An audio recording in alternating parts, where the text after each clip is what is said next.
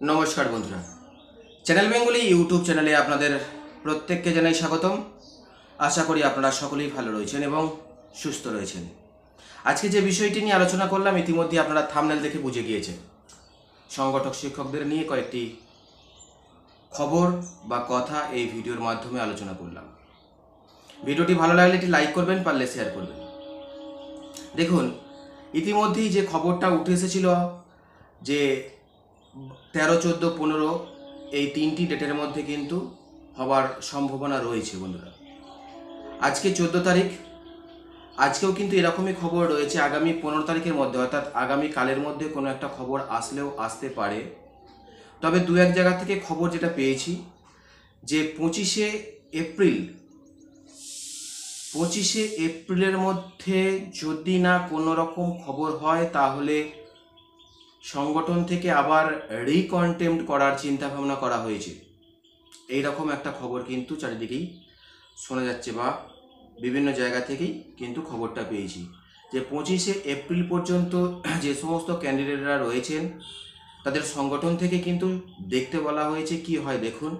যদি পঁচিশে এপ্রিলের মধ্যে বা ছাব্বিশ তারিখের মধ্যে কোনোরূপ খবর না আসে তাহলে আবার রিকন্টেমের চিন্তা ভাবনা করা হয়েছে। আবার বন্ধুরা, আরেক জায়গা থেকে খবর পেয়েছি যেটা হচ্ছে এক ব্যক্তির মালদায় বাড়ি। তো উনি ওনার যে এম এম রয়েছেন, ওনাকে বলেছেন, দেখুন, আমি আর এই সমস্ত ঝামেলায় থাকছি না। এ মাসটা পর্যন্ত দেখব। তারপর আপনার কাছ থেকে আমার যে সমস্ত কাগজপত্র, নথিপত্র আছে, সেগুলো আমি আপনার সঙ্গে বুঝে নিতে চাই। তখন উনি কিন্তু ওই ক্যান্ডিডেটকে বলেছে আরে, আমি তোমার কাছে যাব। এই মাসের মধ্যেই তোমাকে অত চিন্তা করতে হবে না। সুতরাং বিষয়টা কিন্তু পুরোটাই ঘোলাটে বিষয়। কেউ একজন বলছে, হবে। কেউ বলছে, আবার অনেক জায়গা থেকে এরকম শুনেছি যে এখন হবে না, মে, জুন, জুলাই করে চলে যেতে পারে। তো যাই হোক, দেখা যাক কি হয়, সেটাই হচ্ছে বিষয়। ইতিমধ্যেই আপনারা জানেন যে অনেকগুলি সংগঠন থাকলেও সব সংগঠনের কিন্তু হচ্ছে না। যে সমস্ত সংগঠনের সুপ্রিম কোর্ট এবং হাইকোর্টের অর্ডার রয়েছে, যতটুকু শোনা যাচ্ছে সেই সমস্ত সংগঠনগুলোকেই দেওয়ার প্রক্রিয়া চলছে বা চেষ্টা চলছে, এরকমটাই কিন্তু খবর রয়েছে বন্ধুরা। তবে হ্যাঁ একটা কথা আপনাদের বলে যে ডেটের পর ডেট ডেটের পর ডেট কিন্তু বারবারই আমাদের কাছেও আসছে, আমরাও আপনাদের জানাচ্ছি। হয়তো আপনাদের কাছেও এই ডেটটা কিন্তু এসেই যাচ্ছে, আপনাদের কাছেও সেই একই রকম রয়েছে। তো সবথেকে গুরুত্বপূর্ণ যে আগামী পঁচিশে এপ্রিলের মধ্যে যদি কোনো রকম খবর না হয়, তাহলে রিকন্টেমের চিন্তাভাবনা করা হচ্ছে। এরা সংগঠনের লোক বলছে, এরা এইভাবে হয়তো দেবে না। রিকন্টেম করতে হবে, আবার কেস করতে হবে। তো যাই হোক, আপনারা জানেন যে শিক্ষা দপ্তরের হালের মানে হাল কি সেটা আপনারা ভালোভাবেই জানেন।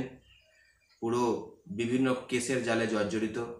সব থেকে বড় কথা, যখন ষোলো হাজার পাঁচশো ঘোষণা করল মুখ্যমন্ত্রী মমতা বন্দ্যোপাধ্যায়, এগারোই নভেম্বর দু হাজার কুড়ি সালে করেছিল সম্ভবত। সেখানে বলেছিল কি, ষোলো হাজার পাঁচশো যারা দু হাজার চোদ্দোর প্রশিক্ষণ রয়েছে বা ইনক্লুড তাদের নেওয়া হবে। পরবর্তীতে ধাপে ধাপে নেওয়া হবে। পরবর্তীতে বলতে কাদের বোঝানো হয়েছিল?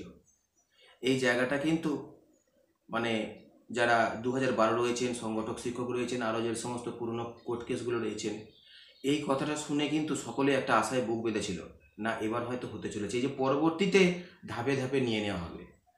একবার বলল ষোলো হাজার পাঁচশো নিয়োগ করা হয়ে গেছে। আবার বলছে ষোলো হাজার পাঁচশো এইটা হলেই হয়ে যাবে। অর্থাৎ এখনও কিন্তু একটা হাজার পঞ্চাশের প্যানেল হবে বন্ধুরা যেটা নোটিফিকেশান বা নোটিশ প্রকাশিত হয়েছিল। তো যাই হোক, যে খবরটা রয়েছে কিন্তু আগামী পঁচিশে এপ্রিল পর্যন্ত প্রত্যেক ক্যান্ডিডেটদের দেখতে বলা হয়েছে, যে পঁচিশ তারিখ না হলে আবার রিকন্টেমের আওতায় যেতে চাইছে সংগঠকরা। সংগঠন, যে সমস্ত সংগঠনগুলো রয়েছে। তো এটাই বলার ছিল।